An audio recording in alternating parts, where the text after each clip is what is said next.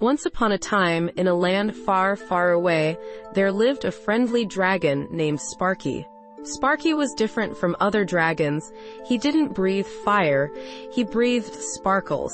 One sunny morning, Sparky was flying through the sky when he saw a little girl named Lily playing in the meadow. Lily was skipping and laughing, her bright pink dress swirling around her. Sparky couldn't resist joining in her fun. Hello, little one, Sparky said, his voice like a gentle rumble. Would you like to go on an adventure with me? Lily's eyes widened with excitement. Yes, please, Mr. Sparkly Dragon, she squealed. So, Sparky swooped down and landed next to Lily. They held hands, and with a flap of his wings, they soared into the blue sky. They flew over shimmering rivers, sparkling lakes, and lush green forests. Sparky loved showing Lily the beauty of the world from his high-flying perch. As they flew, they met a silly squirrel named Scruffy who couldn't stop chattering. They played hide and seek with a mischievous rabbit named Hop and even had a tea party with a tiny talking mushroom named Ollie. But their adventure was far from over. Suddenly, they heard a loud roar in the distance. Oh no, Lily cried. What's that? Don't worry, Sparky said. That sounds like my grumpy cousin, Blaze. He's always getting into trouble. Blaze was a grumpy, fire-breathing dragon who lived in the nearby mountains. He didn't like anyone, especially sparkly dragons like Sparky. Sparky and Lily flew towards the sound of the roar. As they approached Blaze's cave, they saw him guarding a pile of shiny gold coins. Hey Blaze, Sparky called out.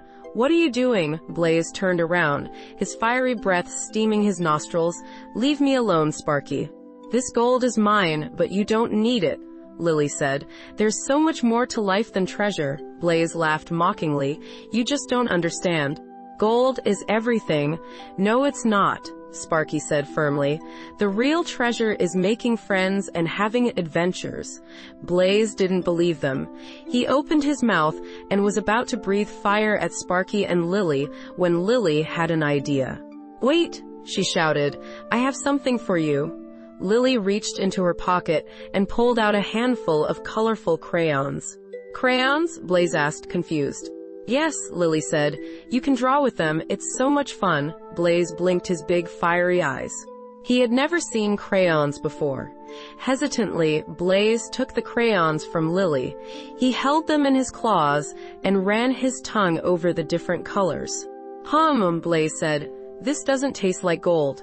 It's not supposed to taste like gold, Lily giggled. Just draw with them. And so Blaze began to draw. At first, he scribbled and smudged, but then something magical happened. He discovered the joy of creating something beautiful.